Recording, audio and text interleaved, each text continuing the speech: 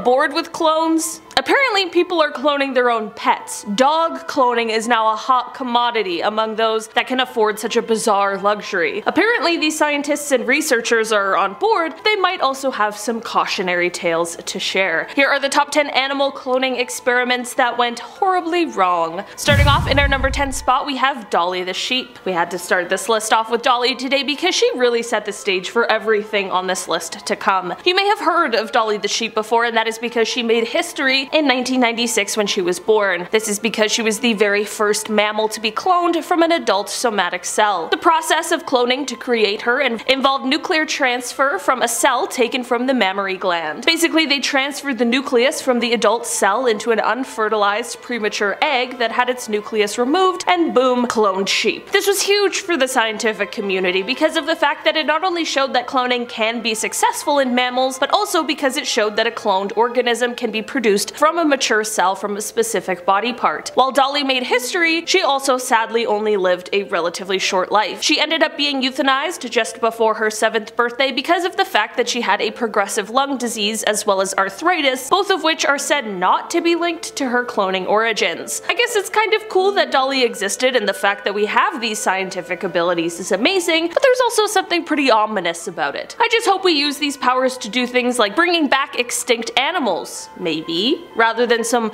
weird mad scientist type of stuff. In our number 9 spot today we have Samrupa. After the birth of Dolly the sheep, scientists everywhere began trying their hand at cloning, and that is when Samrupa was born. Back in 2009, Samrupa was born in India and was a Murrah buffalo, which is known as being the best known milking buffalo, since these animals can be capable of producing 35 kilograms of milk a day. The birth of Samrupa marked a breakthrough in the country because it put India on the map as one of the few countries at the time who had the capabilities to clone, and this was all done using a new at the time landmark technique which was called hand-guided cloning. The scientists who helped to create Samrupa worked on the calf for four years, so it's clear that they were all very excited about its birth. Unfortunately, however, shortly after Samrupa's birth, things went seriously wrong. Just five days after birth, Samrupa unfortunately succumbed to a lung infection and passed away. While the scientists weren't able to save the animal, it is very clear that its birth and short life helped scientists in remarkable ways that went on to inform them in future experiments and projects. In our number 8 spot today, we have the Pyrenean ibex. The Pyrenean ibex is an animal that went extinct around 2000. In a horrible turn of events, the last one was a female named Celia, and she was killed in an awful falling tree incident. A subspecies of the Spanish ibex, the Pyrenean ibex were native to the Pyrenees Mountains on the border of Spain and France. Back in the medieval ages, their population was reduced drastically to an endangered level. This is due to two things, being hunted as well as the spread of human disease. Flash forward to 2003 however, and scientists tried to bring them back to life. This is the first extinct creatures that scientists ever tried to clone. That is absolutely crazy. For 7 minutes. DNA from Celia, the last living individual of the species, was taken and implanted into the womb of a domestic goat. From here, the clone was in fact born, but due to lung complications was unable to survive for longer than 7 minutes. It was a short life, but a monumental one that definitely broke new ground in the scientific world. In our number 7 spot today we have Garima 1. Garima is similar to Samrupa that we already talked about, and in fact she was born in the same place, the National Dairy Research Institute, just shortly after Samrupa, and luckily her birth did end up being more successful considering she made it past the first year of life. She was actually cloned on June 6th, 2009, and things seemed to be going quite well until around June and July of 2011. Garima was created through the same hand-guided cloning technique as Samrupa, so it's clear that the technique was evolving and getting better, but things still unfortunately went awry. When things took a turn for the worst, doctors struggled to figure out exactly what was the problem, but eventually it was revealed that her problem was with her heart. Researchers revealed that her heart was abnormally overweight and much larger in size than other buffaloes her same age, and this likely led to the complications she faced that sadly culminated in her passing in August of 2011. In our number 6 spot today we have the Argali. In the earlier days of cloning experiments, scientists attempted to clone an Argali, which is also known as a type of mountain sheep. These sheep are known to roam the highlands of western East Asia, the Himalayas, Tibet, and the Altai Mountains. The reason they wanted to clone these sheep is because they are important to the ecosystems they live in, and unfortunately they are a threatened species. Now I know there's controversy over the cloning of threatened or extinct species, but personal opinions aside, they were making this attempt to see if this could be a viable way to potentially save a species. Unfortunately, however, these attempts would prove to be futile. Using the same techniques used in the instance of Dolly the sheep, the somatic cell nuclear transfer, while they believed it would be promising, all attempts to clone the mammal failed to produce any viable results, and thus modern science wasn't able to assist in the continuation of this species. But in good news, while the species is still threatened, it is still around and not quite endangered, although its life is mainly threatened due to trophy hunters and ranchers. In our number 5 spot today we have the gaur. A gaur is a species of wild cattle that is native to South Asia and Southeast Asia, and unfortunately they are listed as a vulnerable species on the IUCN Red List, and they have been since 1986. This is exactly why, in 2001, scientists decided it was time to try and clone one. With a population that has declined over 70% in the last three generations, they seemed like a perfect candidate to become the first ever endangered species to be cloned. In 2001, at the Trans Ova Genetics Center in Sioux Center, Iowa, they were able to birth a clone gaur. They obviously used gaur DNA, but used a domestic cow as a surrogate mother to carry the clone. This of course was a huge breakthrough, but unfortunately the life of the gaur was cut short as the calf passed away within 48 hours of its birth. Although this is obviously terrible, I guess the upside is that it is believed that the calf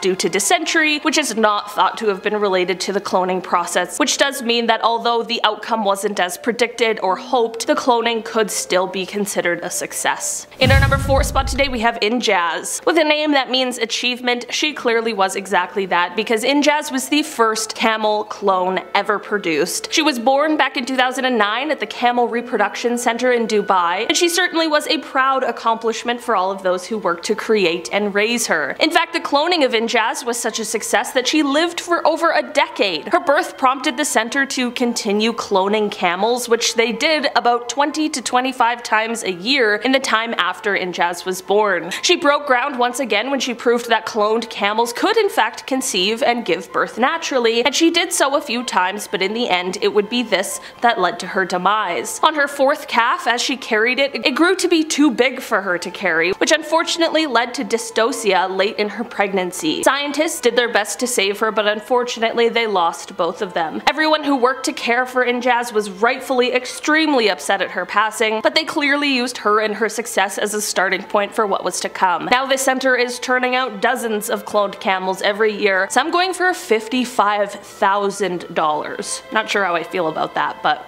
you know, whatever. In our number 3 spot today we have the Banteng. Back in 2003, scientists at the Advanced Cell Technology of Worcester, Massachusetts were ecstatic when they successfully birthed a clone Banteng, which is an endangered species of cattle. To do this, they actually took frozen tissues from a male of this species that passed away many years earlier in 1980. They used these skin cells and inserted the nuclei into cow eggs, and a cow was used as a surrogate mother. They attempted this with 16 pregnancies, two of which came to term. With the success of one clone did come the birth of another identical twin who was born to a different cow mother, but despite being carried to term and birth, this clone was not as expected. It was twice the normal birth weight, which quickly proved to be a very negative sign. As for the clone who was considered a success, it was hand raised at the San Diego Wild Animal Park's Infant Isolation Unit. Unfortunately, however, due to an injury that the animal got when it was less than 7 years old, it did end up passing away, which meant that sadly the clone only lasted for about half the expected lifespan for this species of animal. In our number 2 spot today we have the woolly mammoth. We would certainly be missing a very important animal on this list if we didn't include the woolly mammoth. These guys were of course a species of mammoth, and in fact they were one of the last in line of the mammoth species. Because of the fact that in both Alaska and Siberia there were frozen carcasses discovered, they're actually one of the most well studied extinct creatures. Exactly why or how they were driven to extinction is widely hotly debated. And another thing people like to debate is whether or not we should try and bring them back. There was a genome project completed in 2015 and since then it has been proposed the species could be revived through a few different means, but no one has yet taken the leap. Here's the thing though, there's a new company that is pretty set on de-extincting woolly mammoth and they have a new investor. This investor is called In-Q-Tel and they are registered as a non-profit venture capital firm that is funded by